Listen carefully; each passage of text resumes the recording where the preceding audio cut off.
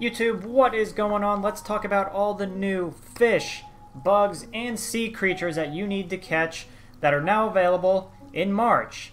Uh, if you guys find this video helpful, I would greatly appreciate it if you would subscribe to my channel. Also, if you drop a like, drop a comment, I'd greatly appreciate that as well. But with that, let's hop right into the Critterpedia and talk about what's new this month. First up, we have the yellow butterfly. As you can see, it is available March through June, and then again in September and October. This butterfly is found like most butterflies, just flying around the map, and it is available from 4 a.m. until 7 p.m. Next up, we have the tiger butterfly, which will be available March through September, and it is also, just like every other butterfly, flying around the map. It is caught from 4 a.m. until 7 p.m. as well. Next up, we have the peacock butterfly. Uh, these are, tend to spawn around darker colored flowers like blue and purple and black ones. These do spawn from March through June and again from 4 a.m. until 7 p.m. So keep an eye out for the butterflies. They are back in season now. Next up, we do have the mantis. They make a return. March through November, the mantis are found standing on flowers, and they are available from 8 a.m. until 5 p.m. Uh, the orchid mantis is also, just like the regular mantis, March through November, standing on flowers, and it is available from 8 a.m. until 5 p.m. as well. Next up, we have the honeybee. This is available March through July.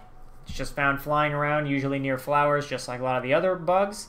Uh, it is available from 8 a.m. until 5 p.m.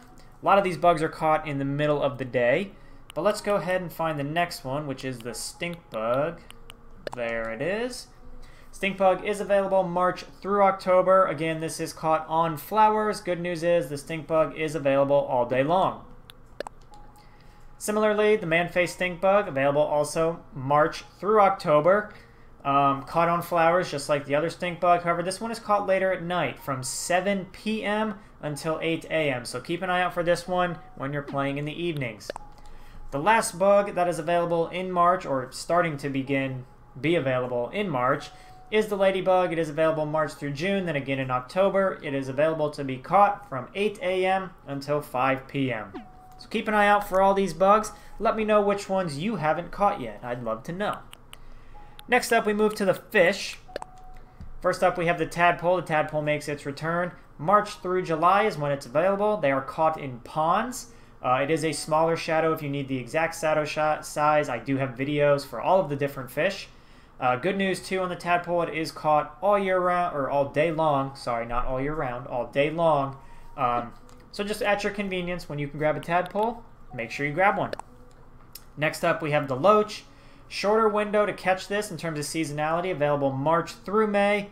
Again, smaller shadow. They are caught in the rivers, and they can be caught at all times during the day. Next up, we have three very tough fish to catch. Actually, two of these are. The cherry salmon is the one who isn't that hard to catch, but it's still somewhat difficult.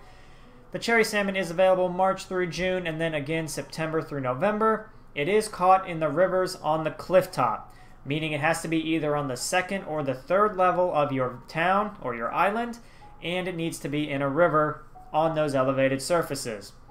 Also, the cherry salmon is caught from 4 p.m. until 9 a.m. Next up, we have the char. This is one of the hardest fish to catch in the game.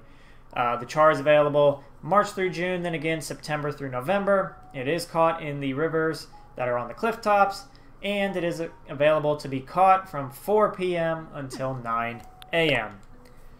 Next up, we have the golden trout. Again, one of the most difficult fish to catch in the game. March through May, September through November, that is the seasonality for this fish. Again, clifftop rivers, just like the cherry salmon and the char. You're going to be one fishing in the same spot for the golden trout and at the same times as they all have the same active hours and location.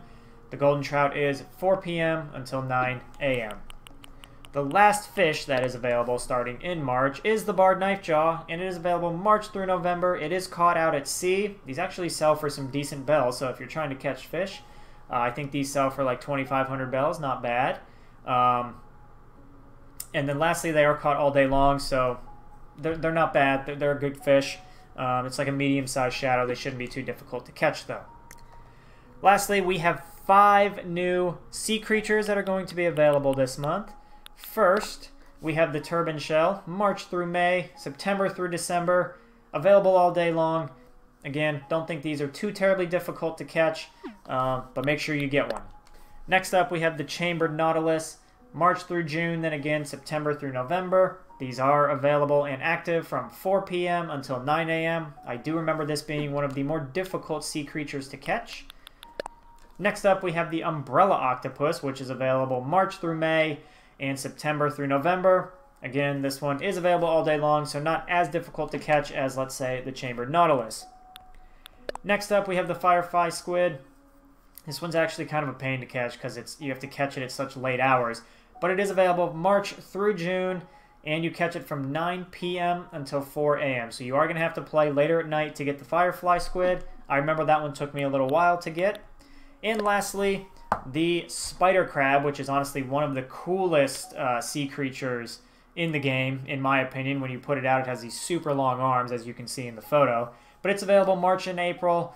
It is available all day long. Again, this one did take me a while to catch, but uh, this one's super cool. It's probably my favorite sea creature of all of them.